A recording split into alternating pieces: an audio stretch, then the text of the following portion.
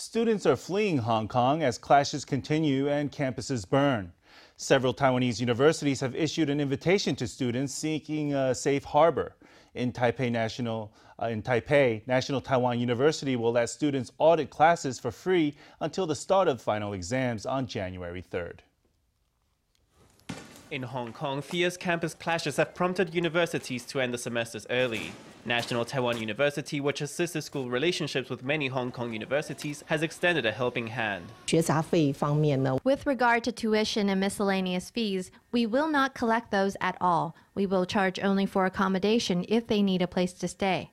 Up until its final exam starts on January 3rd, NTU invites students to take refuge in Taiwan and audit its courses. So far, 417 students have applied. 100 are Hong Kongers, 240 are Taiwanese, and the rest are from Macau, China, and other countries. 啊，转学来台那就有转学的 if you wish to complete a transfer, there's an application process for that. For international transfer students, every school has its own process. If you are a Taiwanese citizen enrolled at a Hong Kong university and you want to transfer to Taiwan, the Ministry of Education asks that you register at the ministry, which will handle student distribution. Meanwhile, National Tsinghua University has received more than 100 calls and over a dozen applications from students. It's also gotten job inquiries from Hong Kong professors interested in moving to Taiwan. In southern Taiwan, Sun Yat-sen University is also opening its doors to academic refugees.